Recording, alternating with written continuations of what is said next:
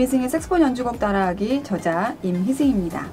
이번 강의는 잔결 꾸밈음 영상에서 예고했던 돈 꾸밈음 설명에 앞서서 잔결 꾸밈음 두 번째 시간으로 모르덴트에 대해서 간략히 이해하고 넘어가도록 하겠습니다.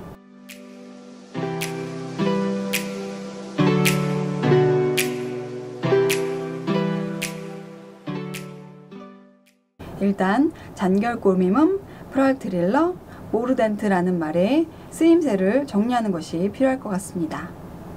잔결 꾸밈음은 사전적 의미가 우리가 알고 있는 것과는 달리 원음에서 시작해서 이도 아래음으로 내려갔다가 다시 원음으로 돌아오는 좁은 의미의 모르덴트라고 이야기하고 지난 시간에 공부했던 원음에서 이도 위의 음으로 올라갔다가 다시 원음으로 돌아와주고 있는 형태를 프랄 트릴러라고 이야기하고 있습니다.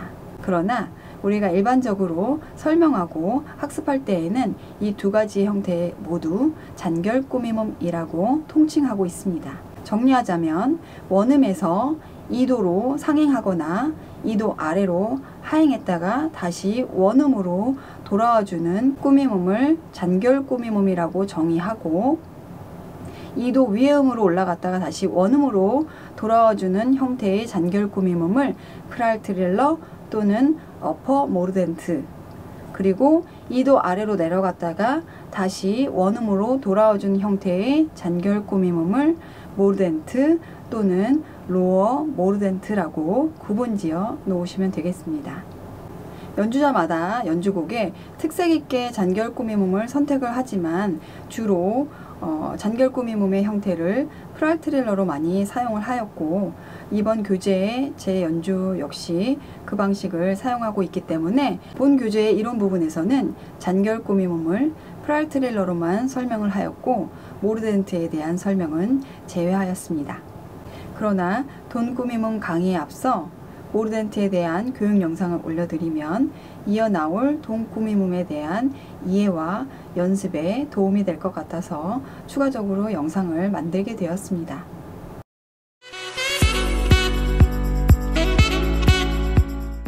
이번 영상에서는 모르덴트를 G 메이저와 F 메이저의 형태만 연습을 해보겠습니다.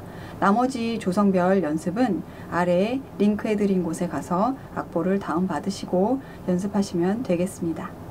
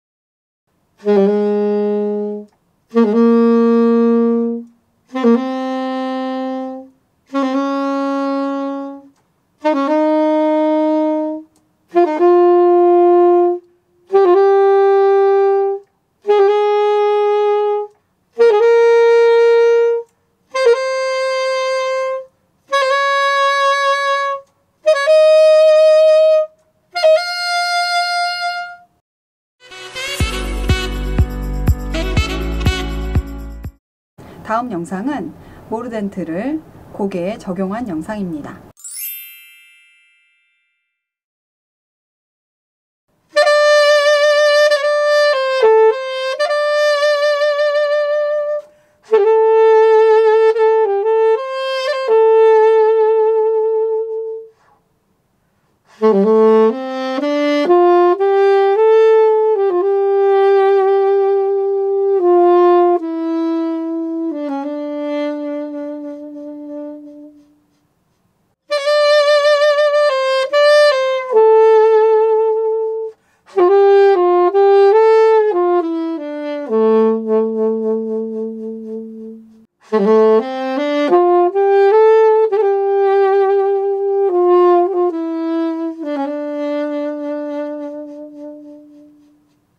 이렇게 잔결 꾸미몸의 또 다른 형태인 모르덴트에 대해서 짧게 공부해 보았습니다.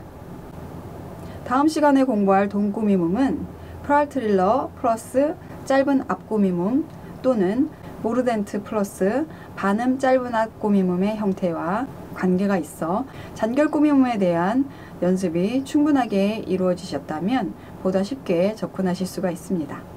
일반적으로 가요에 주로 사용되는 꾸미몸은 짧은 앞꾸미몸, 겹앞꾸미몸 또는 잔결꾸미몸, 돈꾸미몸, 겹뒷꾸미몸 또는 플립꾸미몸으로 정리해 볼 수 있습니다.